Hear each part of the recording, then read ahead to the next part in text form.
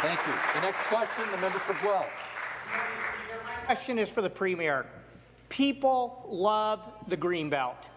They want the Premier to keep as many promises, not to pave over the places they love, the farmland that feeds us, the nature that protects us, especially when we already have enough land slated for development to address the housing crisis. Land in places where people want to live, close to where they work, their family, and transit, not in unaffordable places with long, expensive commutes.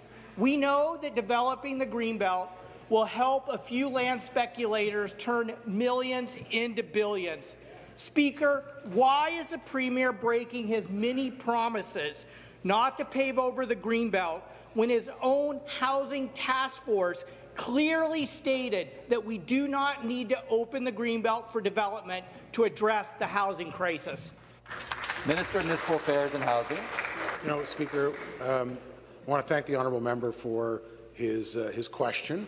Um, always disappointed in him not supporting our government's uh, community housing renewal, uh, social services relief fund, uh, all of our housing supply action plans, pretty well everyone universally he's, uh, he's either voted against or spoke against.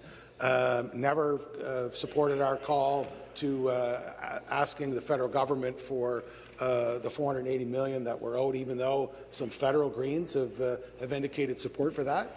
Uh, you know, at the end of the day, our consultation with Ontarians are going to do two things. It's going to grow the green belt by over 2,000 acres, which, which I think is a, is a very positive opportunity, including the Paris Galt Moraine that uh, this member had a private member's bill uh, in respect to. But at the same time, uh, it'll provide an opportunity with, uh, with 50,000 homes at a minimum on land that's existing, it's serviced, it's adjacent to an urban area. Uh, these uh, locations were selected for a purpose, and the purpose is to get shovels in the ground faster.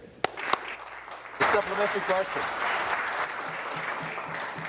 Speaker, I voted against the government's housing bills because they won't solve the housing crisis.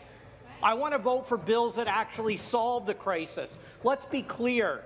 Dismantling environmental protections, attacking local democracy, paving over farmlands, wetland and nature, downloading costs onto property taxpayers, forcing people into long, expensive commutes will not solve the housing crisis. I've put forward plans that show how good planning, zoning changes that allow fourplexes and walk-up four-story apartments, mid-rise apartments along transit corridors and arterial roads, clamping down on housing speculation, investing in deeply affordable co-op and nonprofit housing. Those are the solutions that will solve the housing crisis.